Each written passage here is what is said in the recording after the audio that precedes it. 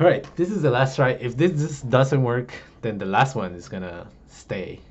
But yeah, uh, this is uh, it's a Christmas Eve, and I was going through the stuff that I've written in the past year, and I really like this one, so I thought about sharing it with you. Uh, let's see if you like it too. It's called An Ode to Reading on the Face of Emptiness. And it goes like this.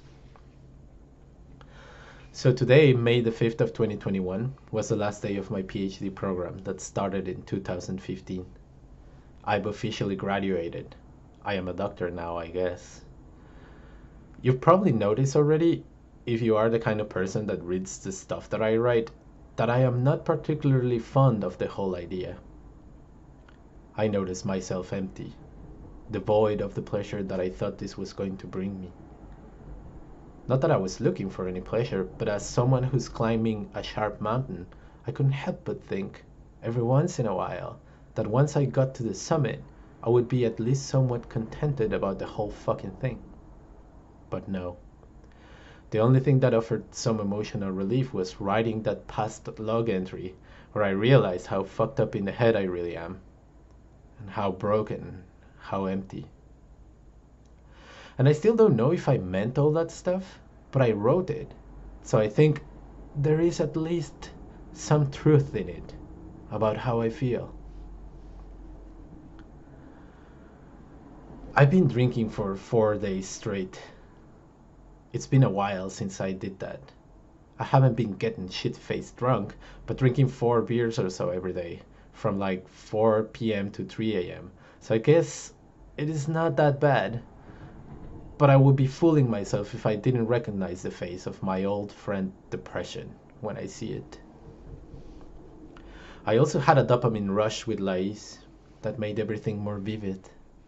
And also, I was still pushing on with little tasks that were helping me keep away from my thoughts. Six years it took me to realize that I am always running away from them, from my thoughts. A successful story of occupational therapy, I would say. Because, of course, I know, I mean, I am trapped with them. My thoughts in my head all the time. One can't ignore that. And now that things got quiet and the pressure of work is not there anymore, I am having to face them again. I suddenly remembered that since I was little, I used to dread them. Like, in my opinion, it is not like schizophrenia or anything serious, but I remember hiding from my thoughts in books. I remember that any time I was unbearably sad or upset, I would just read to pass the time to forget who I was or that I was even there. Reading for days on end, only stopping to pee or remembering to eat because mom knew, and she would bring me a plate with something and a drink, and she used to sat with me for a while, light up a smoke and talk for a bit. I guess just to make sure I was okay, because she knew. Of course she knew and I remember her eyes lighting up with pride and some sort of crystalline love, because she enjoyed finding me lost in white or sometimes yellowish pages. A fruitful vice that one was, since it turned me into a precocious, witty little piece of.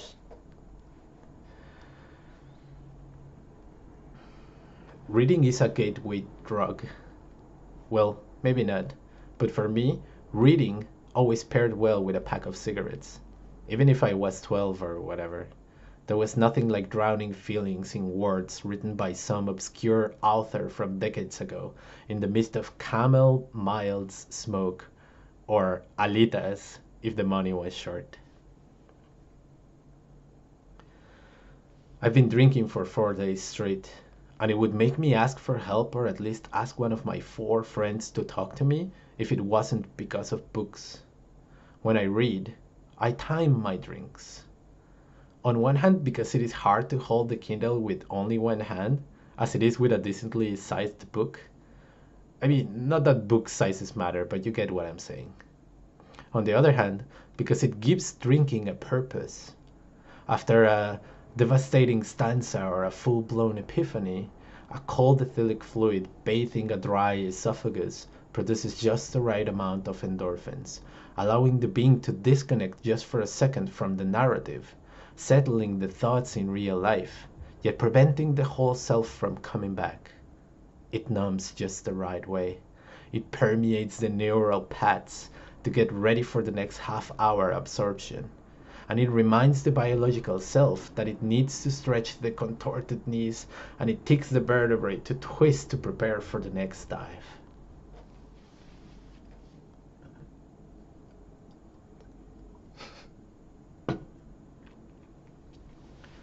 I desert from existence when I read. Fully conscious, my palms were sweating on a rifle, sitting next to Ernesto Guevara de la Serna. I've conspired with the Tupamaros. I debated with I debated the conundrum with Raskolnikov. I revolted in the moon. I philosophized with robots. I became a beetle and not. I floated down the rabbit hole with my skirt. I was imprisoned with a jaguar that held the truth. I asked a pig to dress as me to avoid going to a party. I I was a sex addict. I learned about the fundamental particles. I discovered them. I saw yellow butterflies and I was burned in a furnace. I found it all, all the emotions, all the experiences I dread in real life I've found. Yet again, every time I open a book or a file for that matter, I always find new ones emotions, experiences. Reading is a mental kaleidoscope. The slightest turn of your point view, that is, your perception, and a love story can turn into one of abuse. A story of bravery and honor can turn into one of the frailty of humankind. One story of childish illusions can turn into an existential mindfuck. Hold on tight when reading Reading turns you inside out like that fog in the movie. Reading is also dangerous. It doesn't take much reading to notice that. Books are burned as a symbol. Radical ideas have historically been met by fire. They say paper burns at 451 Fahrenheit or so. Yet writings are so indelibly carved in our minds that they have survived. Pre-Hispanic Mexican cultures didn't even need letters or words to write. We humans can write in our minds. Reading is idea and sound. We write songs that hoist the spirits or crush them. We humans commune between stories that become letters on a paper, melodies on a drum, a piano, a guitar, a synth. We write the music that accompanies our existence and shapes our narratives. The non hearing write on space and time. Their hands ink in our minds. Momentarily, our visual cortex perceives a shape, a gesture, an eyebrow twitch, and suddenly we know exactly what they mean. A story written in flesh vanishes in a second and immediately our mental processes allow us to access a whole world, a vision. The non-visual can read with their hands if needed. Bumps lead the way to the story as mountains on a language map that projects itself from their fingertips to their brains, and there it creates shapes, words and concepts, the whole world as sounds and touch the stories they will tell. Reading equalizes, since reading is not only for the literate. We read emotions in our fellow humans, we read intent in their actions, we read sentiment in speech. We project ourselves in every single thing we do, and people read that sometimes. We read a story on an immobile painting. We have read the story of the world on a photograph of the human eye or a photograph of a fetus or of an atom or, or a distant galaxy. Depictions of human existence, existence are traversing space on Voyager's golden disk right now for someone to read someday. Reading leads to writing. Humans, gregarious as we are, need to be acknowledged. We have shared our ideas and writings since we acquired the ability to do so. Our gift and our malediction, perhaps. Primitive beings felt the necessity or maybe just the comfort of drawing shapes on stones. I write this, well, I, I wrote this on a sophisticated machine based on ultra miniaturized silicon semiconductors. We are physically capable of writing on them based on the language of binary logic, zeros and ones. These innocuous little doodles on paper and screen have kept me alive. They still do. Thus I say, read, my fellow humans.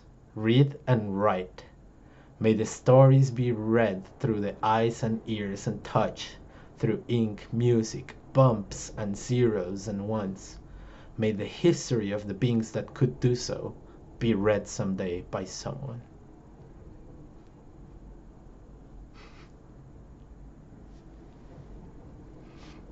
Let me know what you think. See you. How do I stop this?